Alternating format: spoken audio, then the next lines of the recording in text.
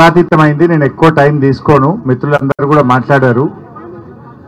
గౌరవనీయులు యువ సోదరుడు కార్తీక్ రెడ్డి గారు మాజీ మంత్రివర్యులు సోదరిమణి సవితక్క గారు శ్రీనివాస్ యాదవ్ అన్న గారు గంగుల కమలాకర్ గారు మల్లారెడ్డి గారు మహమూద్ అలీ గారు స్వామి గౌడ్ గారు వివేక్ గౌడ్ గారు కాలేరు వెంకటేష్ గారు డాక్టర్ సంజయ్ గారు నవీన్ రెడ్డి గారు కృష్ణారావు గారు మా గోపాలన్న గారు గౌరవ శాసన మండలి సభ్యులు సీనియర్ నాయకులు ముఖ్యంగా మూసి పరివాహక ప్రాంతంలో తమ ఇల్లు పోతాయని ఎంతో బాధతో ఆవేదనతో మమ్మల్ని కాపాడండని ఇక్కడికి విచ్చేసినటువంటి అక్కా చెల్లెళ్ళకు అన్నాదమ్ములకు మీడియా సోదరులందరికీ పేరు పేరు నమస్కారం తెలియజేస్తా ఉన్నా. ముందుగా మీకు ఒకటే మాట. ధైర్యంగా ఉండండి. ఎవరు ఆత్మవిశ్వాసాన్ని కోల్పోదు. ఎట్టి పరిస్థితుల్లో ఈ ప్రభుత్వం మీ ఇండ్లు ముట్టుకోకుండా అవసరమైతే మేమే ఒక రక్షణ కవచంలాగా గోడగా మేము ఎమ్మెల్యేలం అందరం వచ్చి మీకు నిలబడతాం. బుల్డోజర్ వచ్చినా ఏ జేసీబీలు వచ్చినా ముందు మమ్మల్ని ఎత్తాలి తప్ప మీ ఇళ్ళను ఎత్తనిచ్చే ప్రశ్నే లేదు. ధైర్యంగా ఉండండి. కొంతమంది చెల్లెళ్ళు కొంతమంది మాట్లాడుతూ తమ ఆవేదన వెలుగుచ్చుతా ఉన్నారు. ఎందుకంటే ఇప్పటికే ఈ హైడ్రా పుణ్యమాని ముగ్గురు ఆత్మహత్య చేసుకున్నారు. మూడు ప్రాణాలు పోయినాయి ఇప్పటికే. ఇంకెవరు చనిపోవద్దు దయచేసి. అలాంటి ధైర్యాన్ని కోల్పోయే పని చేయకండి. వీఆర్ ఆల్ విత్ యూ ఎట్టి పరిస్థితుల్లో మీది న్యాయబద్ధమైన కోరిక. ఇందాక చాలామంది డాక్యుమెంట్లు తెచ్చిచ్చారు. ఇది ఒక layout Vishal Nagar colony layout. ఎప్పుడు అప్రూవ్ చేశారు? పంతొమ్మిది వందల తొంభై నాలుగు. అప్పుడున్నది కాంగ్రెస్ ప్రభుత్వమే. తొంభై నాలుగులో లేఅవుట్ వచ్చింది. తర్వాత వీళ్ళకు మున్సిపల్ ఇంటి అనుమతులు ఉన్నాయి వీళ్ళకు ఎలక్ట్రిసిటీ బిల్లు కడుతున్నారు. వాటర్ ట్యాక్స్ కడుతున్నారు. మున్సిపల్ ట్యాక్స్ కడుతున్నారు. రిజిస్ట్రేషన్ ఆఫీస్లో కొనుక్కుంటే రిజిస్టర్ చేస్తే డాక్యుమెంట్ రిజిస్టర్ డాక్యుమెంట్ ఉంది. దీని మీద బ్యాంకు లోన్లు కూడా ఉన్నాయి.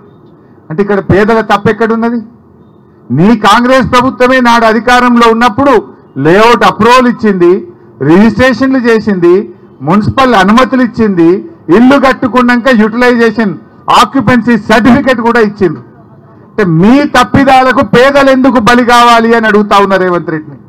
అంటే నువ్వు మూర్ఖంగా అనవసరంగా ఏదో మూసి ప్రాజెక్ట్ చేస్తా అని చెప్పి ఇలా పేదల ఉసురు పోసుకోవడం మానుకోవాలని చెప్పి నేను కోరుతా ఉన్నా.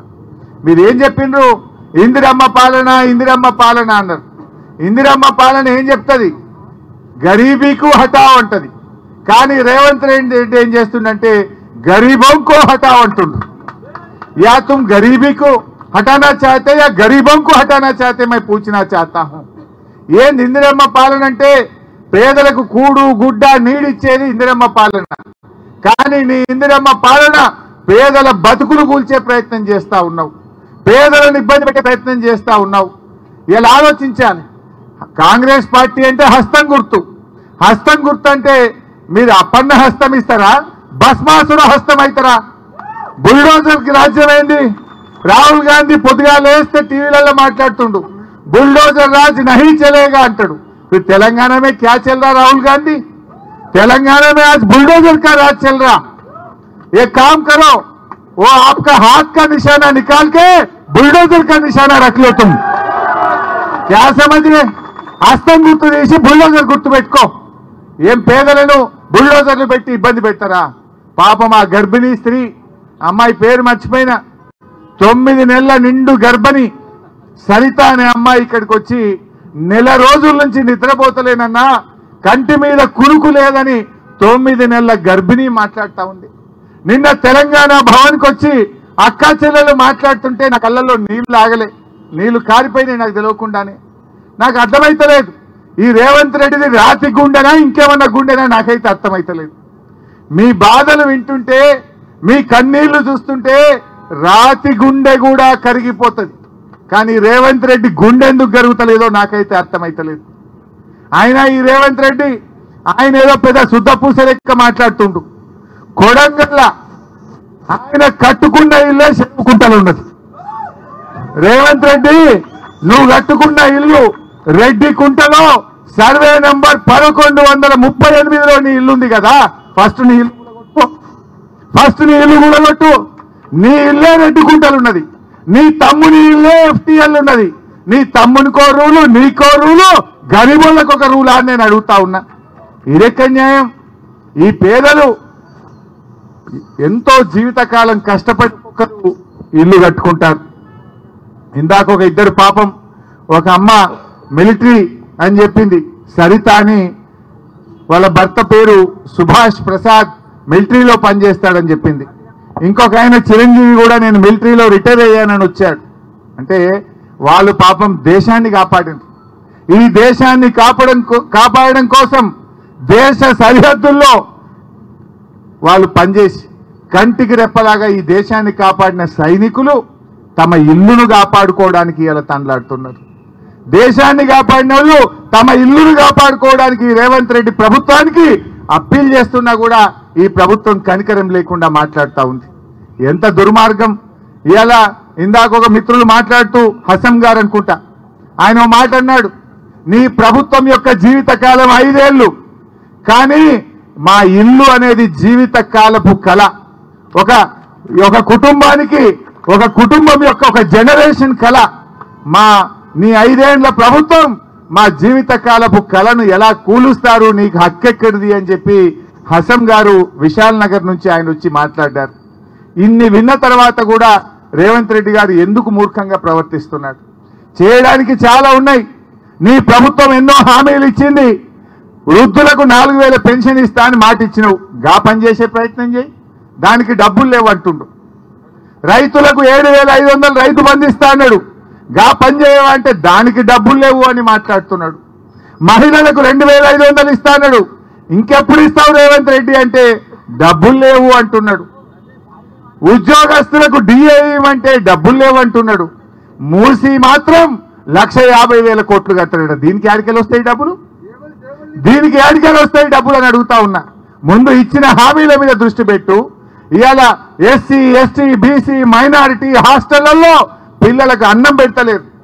ఆరు నెలలకేళ్ళి నువ్వు మెస్ ఛార్జీలు కూడా ఇవ్వలే గా పిల్లలకు పేదవాళ్ళకు అన్నం పెట్టమంటే పైసలు లేవంటావు. సుందరీకరణ మూసి సుందరీకరణ పేరు మీద లక్ష యాభై వేల కోట్లు ఖర్చు పెట్టా అంటే ఇది అయ్యే పనా? పైసలు నువ్వు ముందు లక్ష కోట్లు డిపాజిట్ చేయి. లక్ష కోట్లు డిపాజిట్ చేయి. పైసలు లేవు కానీ పేదోళ్ళ ఇండ్లు కూడా కొట్టగట పేదవాళ్ళని నిద్ర లేకుండా చేస్తూ ఉన్నాడు. అందువల్ల మీరెవరు భయపడద్దు. ప్రజాస్వామ్యం యొక్క గొప్పతనం ప్రతిపక్షం అనేది ప్రభుత్వం తప్పులు చేస్తే ప్రశ్నించడానికే ప్రతిపక్షం ఉంటుంది. మా మధుసూదనాచారి గారు ప్రతిపక్ష నేతగా శాసన మండలిలో ఉండి వారి వాళ్ళ మేము ముందుకు వచ్చారు కేసీఆర్ గారు అసెంబ్లీలో ప్రతిపక్ష నేతగా ఉన్నారు. మేమందరం కూడా అసెంబ్లీలోనైనా బయటైనా ఈ ప్రభుత్వం యొక్క తప్పిదాన్ని ఎత్తి చూపుతాం. ఈ ప్రభుత్వం కళ్ళు తెరిపిస్తాం. మీ తెరువు రాకుండా కాపాడుకునే బాధ్యత మాది మాది అని చెప్పి నేను మనవి చేస్తా ఉన్నా. మా శ్రీనివాస్ యాదవ్ అన్నాడు మా అన్నగారు అవసరమైతే కాలనీకి ఒక ఎమ్మెల్యే వచ్చి పండుకుంటాం. బుల్డోజర్ వస్తే ముందు మమ్మల్ని కూడగొట్టాలి మమ్మల్ని కొట్టాలి తప్ప మీ ఇల్లు కొట్టడానికి అవకాశం లేదు. అంత దూరమైన ఉంటాం మిమ్మల్ని కాపాడుకుంటాం. భయపడద్దు. ఎందుకంటే మీరు జీవితకాలం కష్టపడ్డారు. ఇంక ఇరవై ఏళ్ళు ముప్పై ఏళ్ళ దాకా మీ ఇన్స్టాల్మెంట్లు ఉన్నాయి బ్యాంకులల్లో.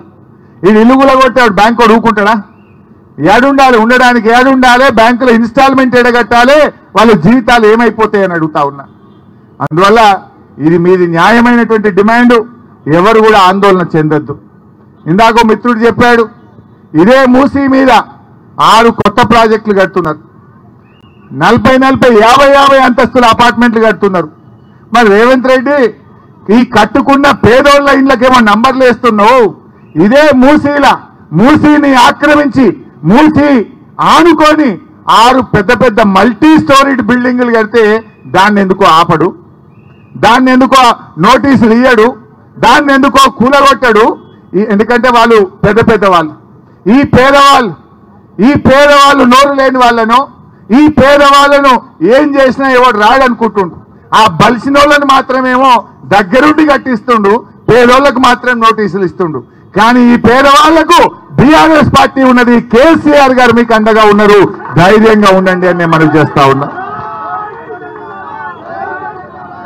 ఇలా మూసీ ప్రాజెక్టు నీకు అంతగా చేయాలంటే విత్ ఇన్ ద ప్రాజెక్ట్ చేయి. ఎందుకంటే నిజాం గారు పంతొమ్మిది వందల ఎనిమిదిలో వరదలు వస్తే వరదలు వస్తే కూడా నిజాం రాజు ఇల్లు కూలగొట్టలే.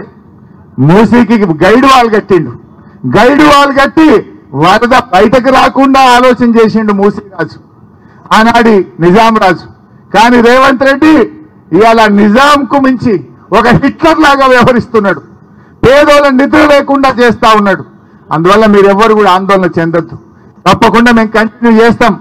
మిగతా కాలనీ వాళ్ళు కూడా వచ్చి చాలా మేము మాట్లాడాలని మా దగ్గరికి రండని ఎంతో మంది వచ్చి ఇక్కడ మా స్లిప్పులు కూడా పంపారు అంతటికి రాలేకపోయినా డెఫినెట్గా ఎమ్మెల్యేలుగా విడిపోయి మీ మీ కాలనీలకు వచ్చి ఎక్కడ సమస్య వచ్చినా మీకు అండగా నిలబడతాం.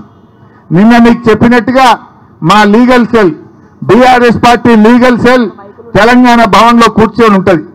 ఎందుకంటే మీరు చూసిండ్రు రేవంత్ రెడ్డి తమ్ముడు ఆయనకు నోటీస్ ఇచ్చిండ్రు. నెల రోజులు నోటీస్ ఇచ్చిండ్రు ఆ కాలనీకి. నెల రోజులు నోటీస్ ఇస్తే కోర్టుకు పోయి మెల్లగా స్టే తెచ్చుకో అన్నట్టు. ఆయన పోయిండు కోట్ల కేసు వేస్తే గవర్నమెంట్ ప్లీడర్ జీపీవై ఏం చెప్పిండంటే ఏ మేము ఇప్పుడే కూలగొట్టాం మేమంతా సర్వే చేస్తాం ఎఫ్టీఎల్ నిర్ధారణ చేస్తాం అప్పటి కూలగొట్టమని ప్రభుత్వ ప్లీడరే పోయి హైకోర్టులో అఫిడవిట్ వేసిండు. అంటే నీ తమ్ముడికి బలిసిన వాళ్ళకు ఒక న్యాయం ఈ పేదోళ్ళకు మాత్రం నోటీస్ లేదట. ఈ పేదోళ్ళకు కనీసం అడగరట. రాత్రికి రాత్రే వచ్చి పోలీసు వాళ్ళని పెట్టుకొని నంబర్లు చేస్తాం కూలగొట్టమంటే ఇది ఏం రాజ్యం అని నేను అడుగుతా ఉన్నా. పేదలకు మీరు సాయం చేస్తారా? పేద బతుకులు ఆటం చేస్తారా అని నేను అడుగుతా ఉన్నా. అందువల్ల ఎట్టి పరిస్థితుల్లో మీరు ధైర్యంగా ఉండండి. మీ ఉద్యోగాలు మీరు చేసుకోండి. మీకేమన్నా చిన్న ఇబ్బంది వచ్చినా డైరెక్ట్గా తెలంగాణ భవన్కు రండి. మా తలుపులు తెరిచే ఉంటాయి. అది ప్రజాభవన్. తెలంగాణ ప్రజల కోసం కట్టిన భవన్ తెలంగాణ భవన్. మీరెవరైనా రావచ్చు. అర్ధరాత్రి వచ్చినా మీకు ఆశ్రయం ఇస్తాం మాట్లాడతాం లీగల్ సపోర్ట్ చేస్తాం ప్రత్యక్షంగా కూడా వచ్చి మీకు అండగా నిలబడతాం. ఇంకా ఏదైనా అత్యవసరం ఉంటే మా సబితక్కకో మాలో ఎవరికైనా ఫోన్ చేయండి. మేము నిమిషాల్లో మీకు ఎక్కువ దూరంలో లేం. మేము ఉండేది కూడా ఇక్కడ నుంచి పావు గంట దూరంలోనే ఉంటాం. ఫోన్ చేస్తే పదిహేను నిమిషాల్లో మీ దగ్గరికి వచ్చి మీకు అంతా నిలబడతాం. ఎవరు కూడా భయపడాల్సిన అవసరం లేదు. We are with you it is a genuine genuine cause న్యాయబద్ధమైన కోరిక మీరు కోరుతున్నటువంటిది. జీవితకాలం కష్టపడి రూపాయి రూపాయి జమ చేసుకొని మీరు ఈ ఇండ్లు కట్టుకున్నారు. అందువల్ల తప్పకుండా మిమ్మల్ని కాపాడుకుంటాం. మీకు అండగా బీఆర్ఎస్ పార్టీ నిలబెట్టది ఎవరు కూడా ధైర్యాన్ని కోల్పోవద్దు. మీరందరూ కలిసి ఉండండి. మీ గురించి లీగల్గా కూడా కోర్టు నుంచి స్టే ఆర్డర్స్ తెచ్చి మిమ్మల్ని కాపాడే ప్రయత్నం చేస్తాం. ప్రభుత్వం కూడా మరి ఒత్తిడి పెంచుతాం. ఇవాళ రేవంత్ రెడ్డి కూడా మౌనాన్ని వీడాలి బయటకు రావాలి దీని మీద స్పష్టమైన ప్రకటన చేయాలని చెప్పి కూడా బీఆర్ఎస్ పార్టీ డిమాండ్ చేస్తుంది. నువ్వేదో ఆఫీసర్లతో ప్రెస్ మీట్లు పెట్టించుడు కాదు. బయటకు రా. బయటకు వచ్చి ఈ యొక్క ప్రతిపాదన విరమించుకుంటున్నా చెప్పి ఈ వేలాది మంది మూసి పరివాహక ప్రజలకు హామీ ఇయ్యి కనీసం వాళ్ళు కంటి నిండా నిద్రపోయే విధంగా చెయ్యమని చెప్పి నేను డిమాండ్ చేస్తా ఉన్నా. నువ్వేదో మౌనంగా లోపల కూర్చుండు కాదు. దేనికోసం కల్పిస్తారు ఒక ప్రభుత్వం పేదలకు సాయం చేయాలి. పేదలకు మేలు చేయాలి. పేదలకు పనికొచ్చే పని చేయాలి తప్ప పేదల జీవితాలు కూల్చే హక్కు నీకు కానీ నీ ప్రభుత్వానికి లేదు అని చెప్పి మేము హెచ్చరిస్తా ఉన్నాం. అందువల్ల ఆయన కూడా మౌనం వీడాలి. బయటకు వచ్చి ఈ ముచ్చి ఆలోచన ఈ ప్రతిపాదన విరమించుకొని ఇంకా ప్రజలకు చేయాల్సిన పనులు చాలా ఉన్నాయి. రోజు పేపర్ తిప్పితే చాలా మంది ఆడపిల్లలు స్కూళ్ళల్లో హాస్టళ్ళలో రెసిడెన్షియల్ స్కూళ్ళల్లో టాయిలెట్లు లేక ఇబ్బంది పడుతున్న ఫోటోలు పేపర్లు చూస్తున్నాం. నీ దగ్గర అన్ని డబ్బులు ఉంటే ముందు పోయి గవర్నమెంట్ స్కూళ్ళకు బిల్డింగ్లు కట్టు ఆడపిల్లలకు టాయిలెట్లు కట్టు. ఎన్నో అత్యవసరమైన పనులు ఎన్నో ఉన్నాయి. ఆ హాస్పిటల్ కట్టు. పేదలకు మంచి వైద్యం అందించు. నిన్న మేము గాంధీ ఆసుపత్రికి పోతే పారాసిటమల్ గోళీలు లేవట. టానిక్ లేదు. గోళీలు లేవు మందులు లేవు. ఏందయ్యా అని అడిగితే డబ్బులు లేవు సార్ అంటున్నాం టిఎస్ఎంఐడిసి కి డబ్బులు ఇవ్వకపోతే మందులు సప్లై చేసేటోళ్ళు ప్రభుత్వ దవాఖానాలకు మందులు సప్లై చేయడం ఆపేసిండ్రు. గా మందులు కొను. పేదలకు వైద్యం అందించు. అదిడిచిపెట్టి మూసి కడతా మూసి సుందరీకరణ నీ సుందరీకరణ కాదు ఇది పేదల బతుకులాగం చేసే పని చేస్తా ఉన్నావు. ప్లీజ్ డ్రాప్ ద ప్రపోజల్ నీకంత చేయాలని ఉంటే ఉన్న దాంట్లో చేయి. బఫర్లకు ఎందుకు వస్తున్నావు? బఫర్లకు నువ్వే కదా లేఅవుట్ అప్రూవల్ ఇచ్చింది నీ కాంగ్రెస్ గవర్నమెంటే ఇచ్చింది? నువ్వు తెలుగుదేశం పార్టీయే ఈ లేఅవుట్లన్నిటికీ అనుమతి ఇచ్చింది.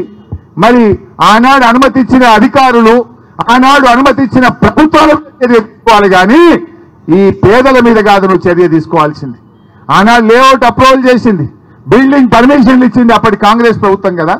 అప్పటి తెలుగుదేశం ప్రభుత్వం కదా. చర్య తీసుకోవాల్సి వస్తే అనుమతి ఇచ్చిన ప్రభుత్వాల మీద అనుమతి ఇచ్చిన అధికారుల మీద తీసుకోవాలి తప్ప ఈ పేదలు ఏం తప్పు అని చెప్పి నేను అడుగుతా ఉన్నా. ఈ పేదలు రిజిస్ట్రేషన్ ఆఫీస్లో ఫీజు కట్టి రిజిస్ట్రేషన్ చేసుకున్నారు కదా.